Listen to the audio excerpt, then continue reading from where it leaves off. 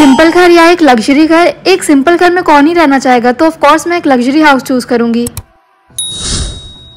Wow ये घर तो किसी महल जैसा दिख रहा है। तुमने क्या किया है? मेरा घर अचानक से इतना लग्जरियस कैसे हो गया? मम्मी मुझे ऑप्शन मिला था कि मैं एक सिंपल घर चूज़ करूँ या एक लग्जरियस घर तो मैंने एक लग्जरियस घर चूज़ कर लिया। वाओ अब तो अगर हमारे कोई नेबर्स हमारे घर आना चाहेंगे तो मुझे और शर्मिंदा नहीं होना पड़ेगा। गाइस क्या स्कूल खत्म होने के बाद तुम लोग मेरे घर आना चाहोगे? हाँ क्यों नहीं? तुम्हारा घर इतना लग्जरियस जो है। मैं तो जानना चाहती हूँ की मिंकी का घर कैसा दिखता है। मैंने उसका घर देखा हुआ है वो बहुत बेकार है।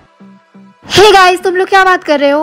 ओह हेलो तुम हम लोगों से क्यों बात कर रही हो? पर मैंने तुम लोगों के साथ क्या गलत किया? तुम्हारी सबसे बड़ी गलती यही है कि तुम गरीब हो। नायरा चलो यहाँ से चलते हैं। क्या? स्टूडेंट्स इस साल हमारे क्लास का स्लीप ओवर फिर से नायरा के घर पर होगा। किसी को इससे प्रॉब्लम तो नहीं है ना?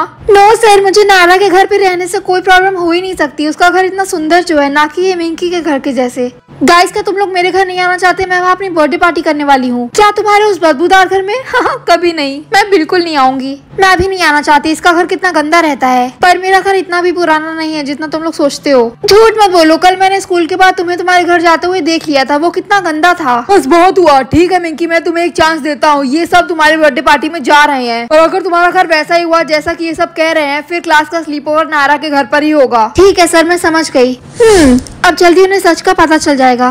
पर इससे पहले कि वो सब यहाँ आ जाए मुझे रेडी होना होगा। मैं जानना चाहती हूँ कि उन लोगों का रिएक्शन कैसा होता है। ओ माय गॉड ज़रूर ये वही लोग होंगे। मैं उस नायरा का रिएक्शन देखने का और इंतज़ार नहीं कर सकती।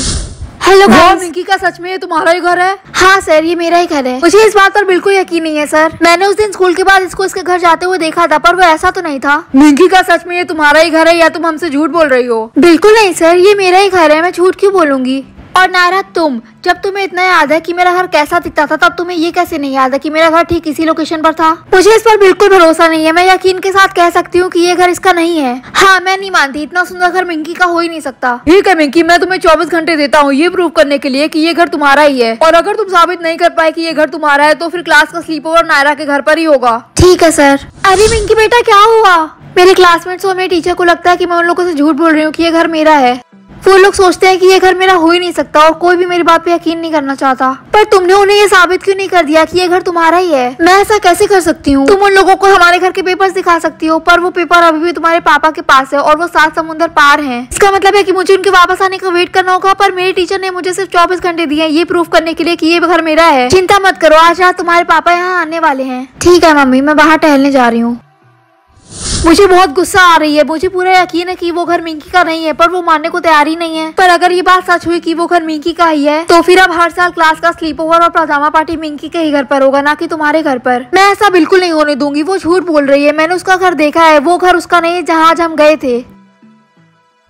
मेरे पापा अभी तक घर नहीं आए मम्मी मैं आ गया।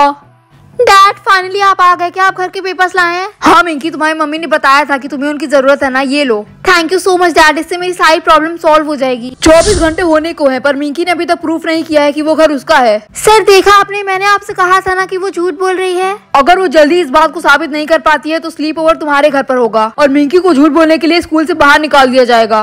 मुझे तो पता है कि वो घर उसका नहीं है। मुझे इन सबको सच दिखाना ही होगा। सॉरी सर मुझे आने में थोड़ा लेट हो गया। क्या तुम वो लाई हो जो तुमसे मंगाया था? नायरा ये स्कूल क्यों आ गई मुझे तो लगा था कि ये नहीं आने वाली क्योंकि इसके पास तो कोई प्रूफ है नहीं। हाँ मैं प्रूफ ले आई हूँ ये लीजिए। ठीक है चलो अब देखते हैं कि वो घर मिंकी का है या नहीं।